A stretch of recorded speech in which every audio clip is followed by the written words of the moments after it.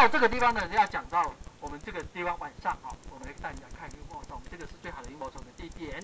那为什么呢？因为这个地方呢，还有一个好处就是说，它的环境你要白天的时候告诉他，这样的一个生态环境是最多萤火虫的。为什么？我们早上呢，呃，昨天晚上呢，顾老师已经有讲过，上面呢一定要有所谓的遮蔽，不能太空旷，因为太空旷呢，萤火虫呢没有什么安全感，没有安全感。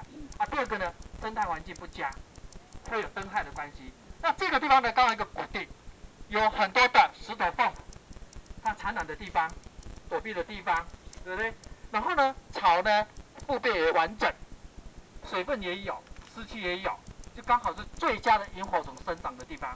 当它白天呢，我们带萤火虫的地方呢，把它讲解完这这么这样的那么好的生态环境，那晚上呢，我们呢带它来看，不是更容易的吗？他更会了解。不按起来讲哦，我叫它盖接，想那生态环境他会会会好，他不懂，不懂。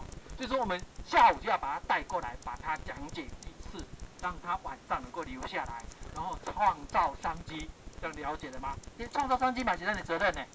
对吧？哈，也是我们的责任哈，我们是该做的，好的，在这部分哈。好，那呃，原则上呢，这边是稍微你要把它带一下，那萤火虫部分我就不讲解了，因为昨天已经讲。